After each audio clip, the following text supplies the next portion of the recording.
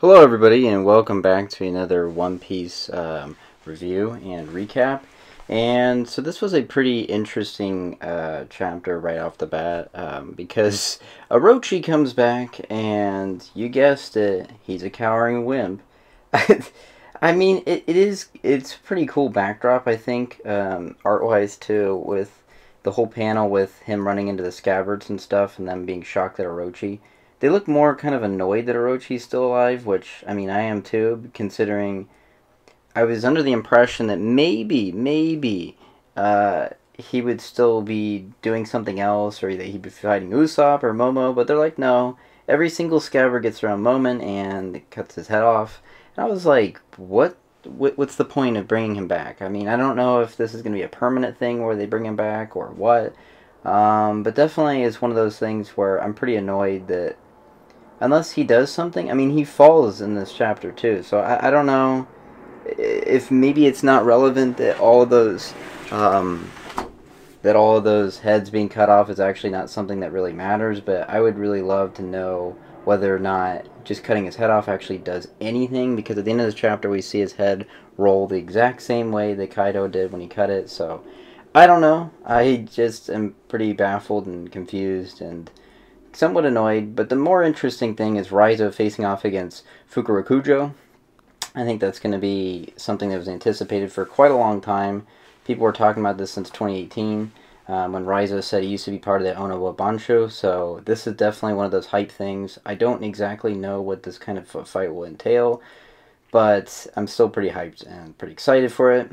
Um, and then, again, we get another kind of like a, a throwback moment in One Piece um, with Kaido in his hybrid form and Big Mom using like a kind of like they're staggering and they you know they kind of have this stance that looks kind of like the Brogy and Dorry uh, kind of attack that uh, they used way back in Little Garden.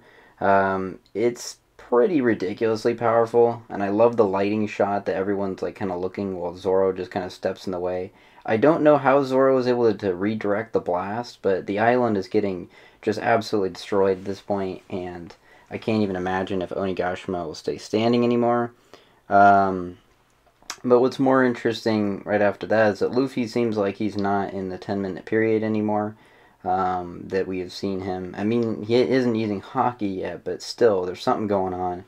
Uh, there's a really funky looking panel of him like smiling after he realizes that that everything does affect him, uh, affect Kaido anyways.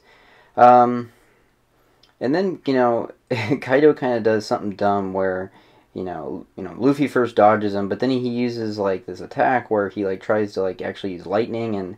I mean, Kaido at this point should know that lightning doesn't really affect Luffy, so I, I don't know exactly what he was thinking. Uh, but it's still a pretty awesome panel because like Kaido is actually using his tail to propel himself, and then he actually like uses a Boro blast like without having to be in dragon mode so that, that was pretty damn cool.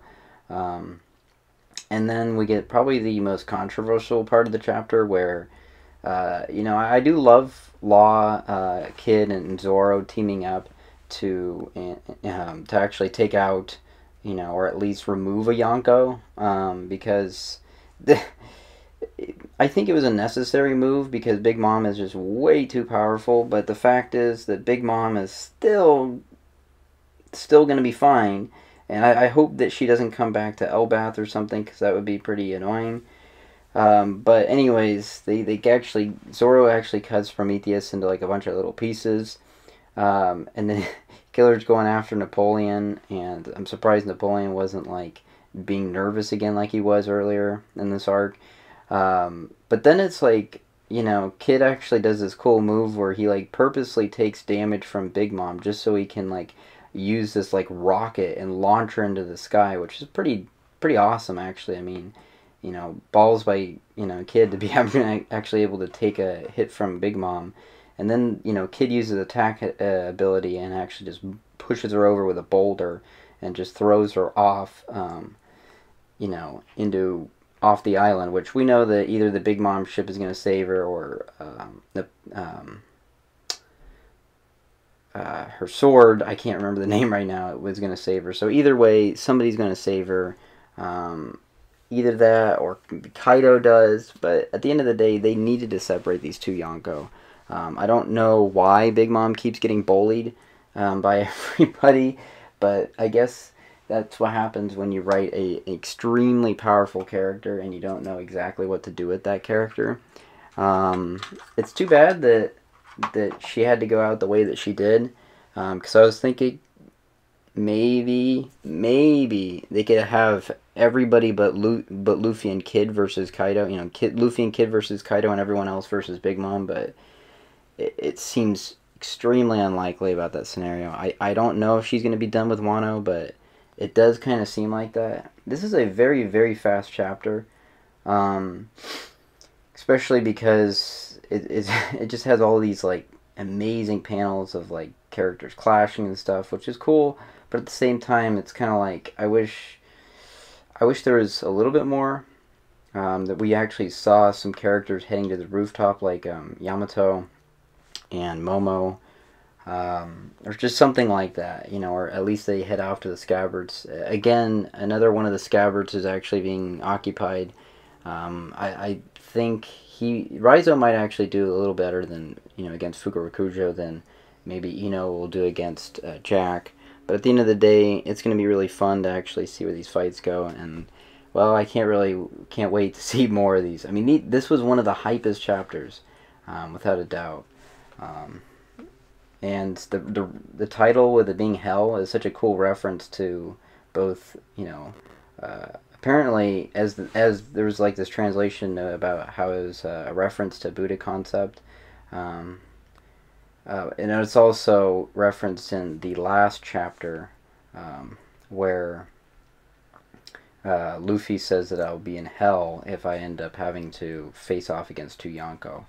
Um, and then also, like, it's pretty cool. Like, the, the little, the color spread is really cool.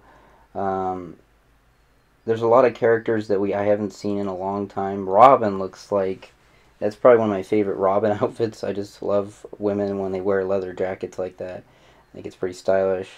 Uh, it's it's a pretty cool look, and especially with the snow and all that. Um, it's definitely one of my favorite color uh, spreads, although it is a little bit simplistic, but I do love it. And uh, anyways, uh, I'll see you guys next time, most likely when I do an Attack on Titan review. So see you till then. Bye.